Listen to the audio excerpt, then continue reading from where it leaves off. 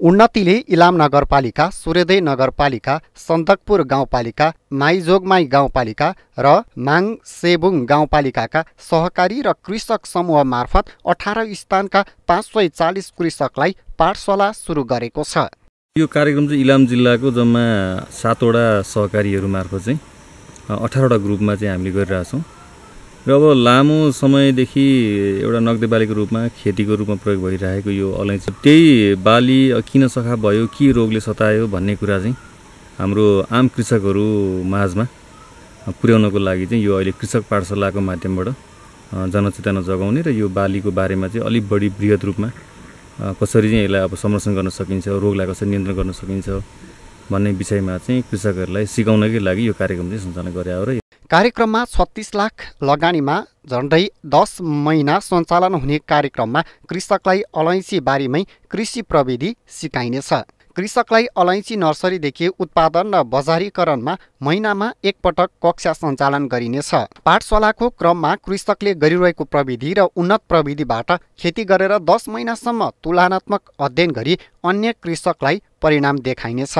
र यहाँ भएका प्रगतिहरू के के छन् हामी यसमा बिचमा गएर हामी प्रस्तुति पनि हुन्छ।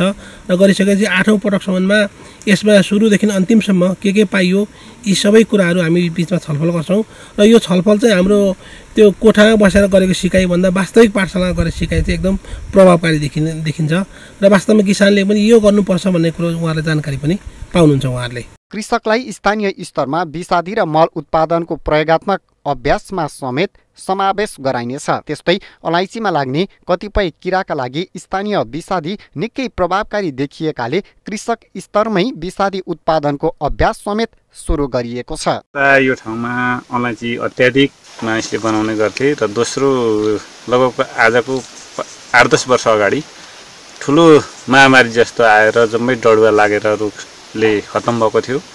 र यस पछाडि आएर पनि मान्छेले अहिले चाहिँ दुई तिन वर्षदेखि क्रमिक रूपमा सुधार भएर अहिले चाहिँ लगभग दुई चार मन दुई चार मन अथवा बन्दै नहुनेले पनि पन्ध्र बिस किलोसम्म चाहिँ बनाउने बनिरहेछन् अहिले कृषि प्राविधिक गाउँ गाउँमा पुगेपछि कृषकले अन्य बालीको समाधान गर्ने अवसर समेत पाएका छन्। किसानहरूलाई अहिलेसम्मका समस्याहरूले यो बगान नै मास्ने खालको सोच बनाइसक्नु भएको थियो।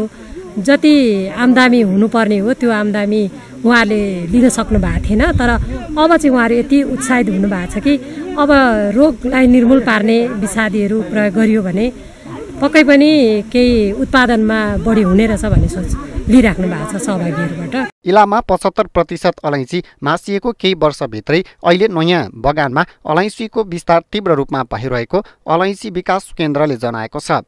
जिल्ला कृषि विकास कार्यालयका अनुसार इलाममा एक हजार छ सय हेक्टरमा अलैँची खेती गरिएको छ। टिका खतिवडा इलाम।